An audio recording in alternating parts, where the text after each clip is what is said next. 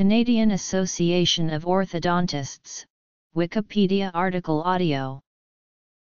The Canadian Association of Orthodontists, founded in 1949, is the Canadian national organization of educationally qualified orthodontic specialists.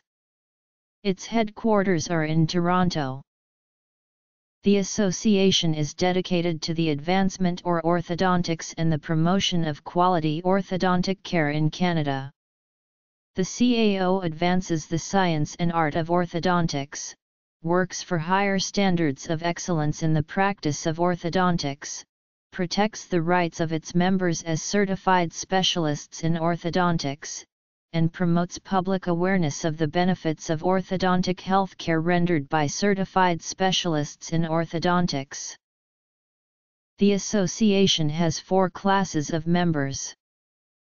Orthodontists are dental specialists in the diagnosis, prevention, and treatment of orthodontic problems, and who have completed a minimum of two academic years of study in an accredited orthodontic residency program. Only those dentists who have completed this training may call themselves orthodontists, and only orthodontists may be members of the Canadian Association of Orthodontists. The CAO is affiliated with the American Association of Orthodontists.